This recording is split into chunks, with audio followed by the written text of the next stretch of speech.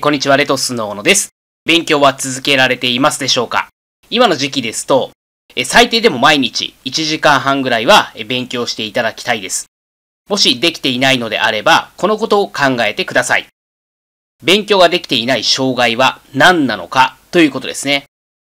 例えば、テレビを見てしまう。眠たくなってしまう。スマホゲームをしてしまう。ネットサーフィンをしてしまう。忙しいことを理由にしてしまう。などなど、えー、いろいろあります。まあ、仕事と育児、これは最優先事項だと思います。しかし、その次ぐらいに勉強、これを持ってきてほしいんですね。そうしないとなかなか勉強時間って作ることできないんですよ。これまで合格していった受講者さんは、これらの障害を克服していただいております。テレビを見ないためにどうすればいいのか。眠くなる場合どう対処すべきか。スマホゲームをやらないためにどうすべきか。ネットサーフィンをしないためにどうすべきか。こういったことを考えて実践していくことが必要です。勉強法とは関係ないかもしれないんですが、これができないと勉強時間が確保できず合格できません。実際個別指導の受講者様も、これらの障害を持った方がほとんどだったんですね。なので、どうやってこれらの障害を取り除いて勉強時間を作っていくかをアドバイスしながら実践してもらっています。これを早い段階で習慣化して勉強時間を作ってもらっています。勉強法も重要ですが、同様に勉強時間を作ることも重要なので、ぜひ行ってみましょう。では3問に入ります。法定教養部分は、区分所有者全員の共有の登記を行わなければ第三者に対抗することができない。丸か×かという問題です。考えたい方は動画一旦ストップしていただいて、こちらの動画の下の概要欄から問題文ご確認ください。で、答えはこれ×ですね。そもそも法定教養部分ってどんな部分か理解できていますでしょうか？例えばエレベーターとかエントランスとか階段とかですね。これらは法定教養部分って呼ばれるものなんですけども、登記しないんですね。まあ、登記しないっていうか登記できないんですよ。つまり、もう登記しなかったとしても、これはもう第三者に対抗することがもうできるんですね。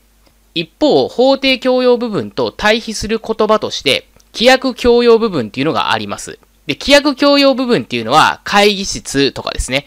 もともと会議室って部屋じゃないですか。部屋なので占有部分なんですが、それを規約によって教養部分に変更することができるんですね。つまり占有部分だけれども会議室にして教養部分にすると。それが規約教養部分って言うんですけども、これについては登記をしないと対抗できませんので注意してください。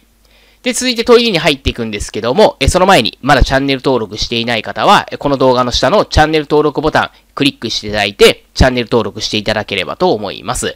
で、チャンネル登録の隣にベルのボタンあります。で、これは、え押していただくと、私が新しい動画を公開したら、自動で通知が来るような設定なんですね。なので、え新しい動画アップした時に新しい情報を見たいという方は、えこちらのベルのボタンですね。チャンネル登録の隣のベルのボタンもクリックしていただければと思います。で、問いにですね。宅建業者の代表取締役が懲役刑に処せられたとしても、執行猶予が付されていれば、宅建業者の免許は取り消されることはない。丸か×かという問題です。え答え×ですね。まず、代表取締役も役員に該当します。そして役員が懲役刑に処せられれば、役員、代表取締役は結核になりますね。で、これ執行猶予がついていても同じなんですよ。執行猶予がついていても役員が結核になると。ということは、宅建業者も結核になって免許が取り消されるということですね。よって問題文で宅建業者の免許は取り消されることはないっていうのは誤りになるということです。えただですね、その後執行猶予期間が満了したら、まあ、すぐにでも免許を受けることができるんで、この点は注意しておきましょう。で、執行猶予って何かわかりますでしょうか？まあ、簡単に言えば、いきなり刑務所に入るんじゃなくて、一定期間は目をつむって、その期間何も悪いことしなければ、まあ、懲役刑なかったことになると、まあ、いうようなことです。で、まあ、執行猶予と対比されるのがですね、実刑っていう言葉ですね。えいきなり刑務所に入れられると。いうのが実験になります。で、個別指導の受講者様は専用メルマガで、この問題の、考え方ですね。これお伝えいたしますので、専用のメルマガからご確認いただければと思います。で、3ですね、開発許可の問題です。市街化調整区域において、図書館法に規定する図書館の建築のように供する目的で行われる3000平米の開発行為を行う場合、開発許可が必要である丸か×かという問題ですね。で、答えは×です。